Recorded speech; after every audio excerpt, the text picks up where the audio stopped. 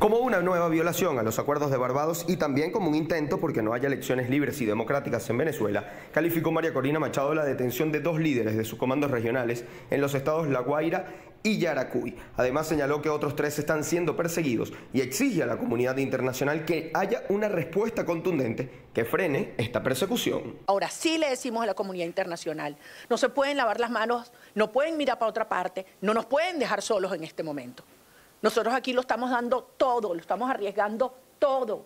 Es un momento de mostrarle al régimen que la comunidad internacional no va a tolerar que se viole el acuerdo de Barbados y que se violen descaradamente los compromisos. Los detenidos son Juan Freitas en el estado de La Guaira y Luis Camacaro en el estado de Yaracuy. Fueron llevados por personas no identificadas con ningún organismo del estado en vehículos sin placa y aseguran que de forma irregular. Han sido desaparecidos el día de hoy. Ah, por cierto, andaban solos, ellos andaban conduciendo sus vehículos y Juan Freites andaba en una, en una moto y los interceptaron y se los llevaron. Todo está debidamente documentado y registrado. El abogado Perkins Rocha, miembro del equipo jurídico de 20 Venezuela, denunció que en ninguna de estas detenciones hubo orden judicial, que se trata de una nueva campaña de persecución para desmovilizar al partido. Agregó además que hasta el momento se desconoce dónde estarían detenidos bajo la custodia de cuál cuerpo policial y de qué se les acusa. Esto simplemente forma parte de una campaña, de una política de persecución que contra, en este caso, miembros del comando de campaña de María Corina Machado se ha iniciado en el país. Agregó que las sedes de 20 Venezuela en distintos estados del país fueron vandalizadas con grafitis durante la madrugada de este martes. En la mañana de hoy amanecieron absolutamente violentados. Esos son Caracas, Anzuategui, Monagas, Mérida, Aragua, Falcón, Vargas, Bolívar, Táchira y Yaracuy. María Corina Machado sostiene que estas acciones por parte del régimen venezolano violan el acuerdo de Barbados, donde se hablaba de garantías para que los candidatos y sus equipos pudieran hacer campaña y organizarse. Que habla del desarrollo de una campaña electoral pacífica y participativa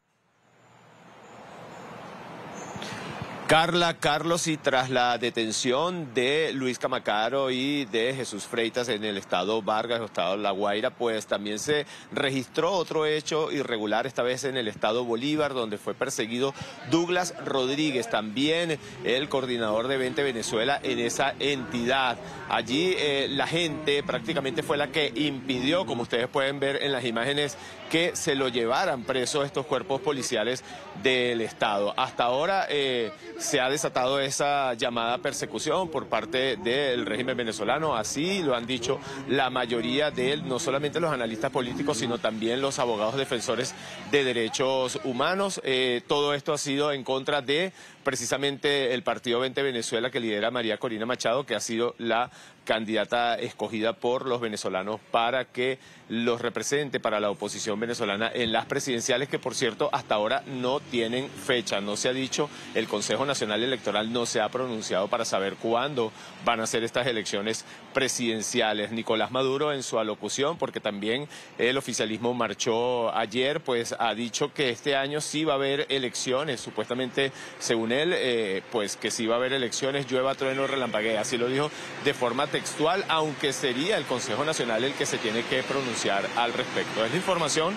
que nosotros podemos manejar esta hora desde la capital venezolana. Retornamos con ustedes a la mañana de NTN 24. Oliver, como siempre un gusto. Buen día para ti. Gracias. Y el Departamento de Estado de los Estados Unidos emitió un comunicado en rechazo a la detención de dirigentes de la oposición en Venezuela. Eso sí, exigen o exigieron en ese comunicado el fin del acoso por motivos políticos y que sea de inmediato. Estados Unidos está profundamente preocupado por la misión de órdenes de arresto y detenciones contra al menos 33 venezolanos, incluidos miembros de la oposición democrática, la sociedad civil, exmilitares y periodistas. Las detenciones, sin el debido proceso, van en contra del espíritu de acuerdo de hoja de ruta electoral de octubre de 2023 firmado entre la plataforma unitaria y representantes de Nicolás Maduro. Exigimos el fin del acoso por motivos políticos, incluidos los ataques a las oficinas de campaña de la oposición y todos los esfuerzos por sofocar las aspiraciones democráticas del pueblo venezolano mediante el miedo y la intimidación.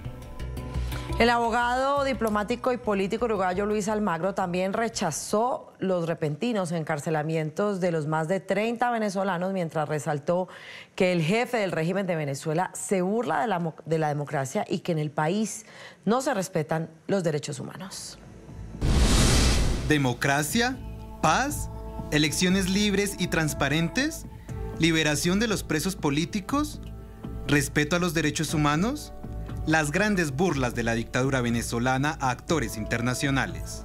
Nuestro invitado para este tema es Nickmer Evans, politólogo venezolano, profesor universitario de ciencias políticas, además fundador del Movimiento por la Democracia y la Inclusión. Como siempre, un gusto, Nickmer. Bienvenido, buen día. Muchísimas gracias siempre por el contacto con ustedes en NTN 24. Es un gusto. Ayer se celebraba o se conmemoraban 66 años de la caída de la dictadura de Marcos Pérez Jiménez el inicio del periodo llamado periodo democrático en Venezuela, hasta que llegó el régimen de Hugo Chávez y avanzado su gobierno se transformó y mutó en todo lo que estamos viendo al día de hoy. Además, la candidata presidencial de la oposición y los factores de oposición en Venezuela lanzaban esa gran alianza nacional y la respuesta pareciera automática del régimen fue incrementar la represión a quienes hoy están trabajando en Venezuela eh, por un cambio político. ¿Cuál es tu análisis de ese comportamiento ayer de las instituciones, entre comillas, del Estado venezolano frente a las movilizaciones de la oposición? Sin duda, eh, la ruptura de los acuerdos de Barbados que enmarcan la nueva etapa de relación entre el gobierno y la oposición y que genera o generó una serie de expectativas en función del inicio del la resolución de conflictos desde el punto de vista electoral y de presos políticos, pues está en ciernes, está al borde de la posibilidad de, de, anunciar que eh, ya están prácticamente rotos por parte del gobierno de Maduro, como consecuencia del hecho de la violación sistemática de los acuerdos que son públicos en relación al hecho de que al, día de hoy no hay un cronograma electoral, cronograma que por cierto fue exigido por el espacio consenso de manera formal en una comunicación el 12 de diciembre del 2013, ratificado el mismo día de ayer y anteayer y además también suscrito por las movilizaciones regionales que se hicieron por parte de los trabajadores y también de los que eh, se sumaron al lanzamiento de Ghana, de la Gran Alianza Nacional en distintos estados. Eh, pero además también es la reiterada y sistemática violación de derechos humanos al retener a actores políticos y al convertirlos en presos políticos. O sea, ya toda esta lista que ustedes denunciaron hace poco se suma también al dirigente eh, coordinador de 20 eh, Venezuela en el estado Trujillo. O sea que ya serían tres detenidos y una tentativa en el estado de Bolívar y creo que hubo en otro estado en donde afortunadamente se pudo detener la detención. Pero esto, es, eh, esto está enmarcado en lo que ha definido Maduro eh, y el Partido Socialista Unido de Venezuela en esa confusión de partido-estado, estado-partido, de una política pública llamada furia bolivariana, que es eh, la formalización de un neofascismo, de, una visión fascistoide de la acción política infantil de quien se ve débil ante la legitimidad, ante la posibilidad de eh, superar la popularidad que está en el piso por parte del gobierno de Maduro. Nigmer, María Corina Machado dijo hace poco, después de que retuvieron a dos de sus fichas clave en la campaña en diferentes estados, que Maduro tiene terror de las elecciones. ¿Cómo analizas estas declaraciones? ¿Crees que efectivamente así sea?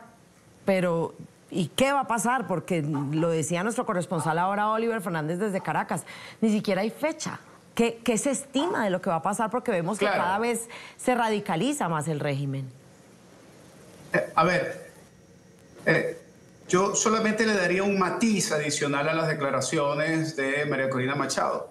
No es que el gobierno tenga terror a las elecciones, le tiene terror a que la gente pueda expresarse en unas elecciones con condiciones para eh, decir lo que piensa. Porque sobre las elecciones ellos tienen la capacidad de haber hecho ese acto bochornoso del referéndum consultivo sobre el tema de eh, la Guyana Esequiba, eh, eh, en donde afirmaron haber movilizado 10 millones de personas para esa consulta. O sea, ellos tienen ese nivel de desfachatez ya en relación con el tema electoral.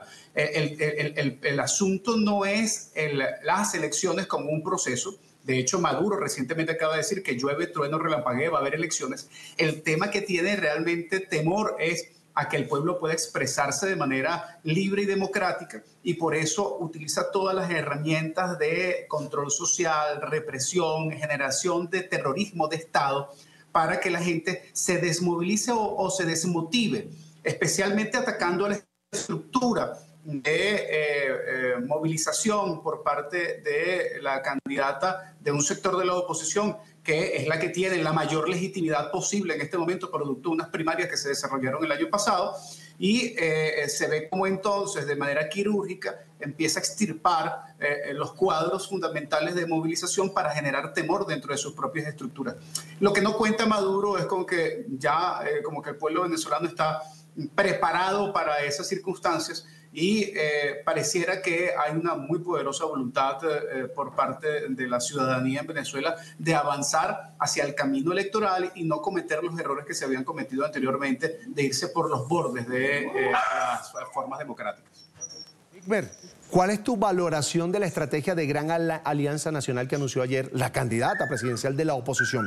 ¿Qué esperas de ese llamado que se hizo ayer en varias eh, regiones de Venezuela? Lo hizo ella desde Caracas, pero tuvo eco en varias regiones del país.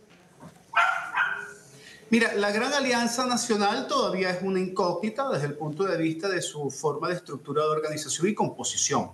Eh, de hecho, ayer eh, el discurso de María Corina fue un discurso muy corto, lamentablemente apresurado como consecuencia de la presión que se estaba ejerciendo de haber tenido que movilizar su concentración de la Plaza Altamira a una plaza cercana, eh, porque el chavismo decidió, el madurismo decidió pasar por el medio de la concentración de María Corina Machado y del lanzamiento de Gana. Por lo tanto, no hubo mayores detalles.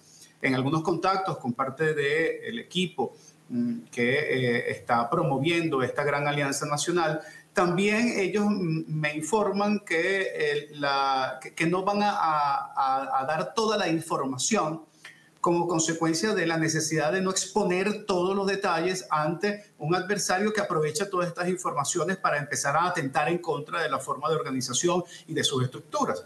Ahora, lo que podemos, lo que se ha especulado hasta ahora en relación con la Gran Alianza Nacional es o la posibilidad de que sea un espacio que vaya a tender a sustituir a la plataforma unitaria democrática o que tienda a ser una organización este, eh, tipo alianza eh, como la de Bukele, eh, que tal cual además se llama Gana, termina siendo un mm. partido de centro derecha con capacidad de negociación y de articulación con centros de izquierda moderada.